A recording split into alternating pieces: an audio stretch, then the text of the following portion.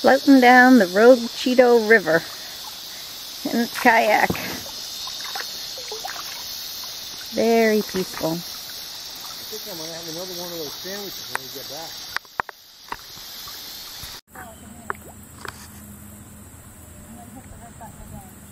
Turn around.